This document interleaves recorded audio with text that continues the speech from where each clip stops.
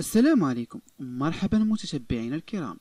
أهلا بكم في قناتكم الأخبارية المغرب dot com. لا تنسى الاشتراك وتفعيل الجرس ليصلك كل جديد إن شاء الله. هذه أبرز العناوين. ثلاثة أسباب ستشعل الحرب عسكرية بين المغرب والجزائر على الحدود.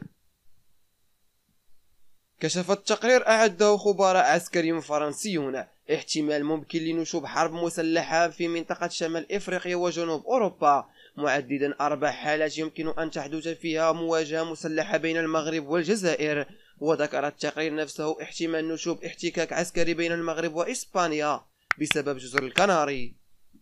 واعتبر خبراء من مؤسسة البحر الأبيض المتوسط لدراسة الاستراتيجية التابعة للجيش الفرنسي. أن أرخبيل جزر الكناري وجنوب سبتة ومليليا المحتلة بمثابة وقود احتكاك بين إسبانيا والمغرب في حين أن جبل طارق لا يزال موضع توتر بين إسبانيا والمملكة المتحدة.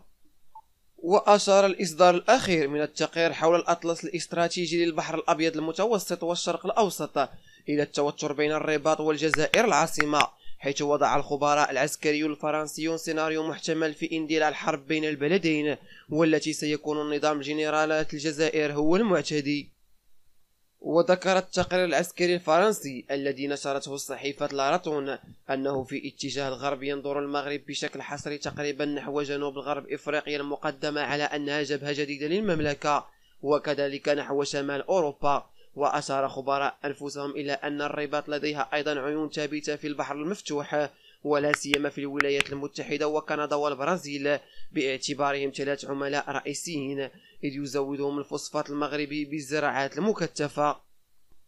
وحذر خبراء الجيش الفرنسي من عدة أسباب يمكن أن تؤدي إلى مواجهة مسلحة بين المغرب والجزائر وهي ثلاث أسباب متتالية. في التنافس التاريخي بين البلدين والصراع حول الصحراء الذي سمم العلاقات بين الرباط والجزائر لما يقارب من أربعة عقود.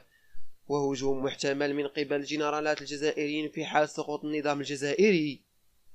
إذا أعجبك الفيديو لا تنسى الاشتراك وتفعيل الجرس ليصلك كل جديد إن شاء الله.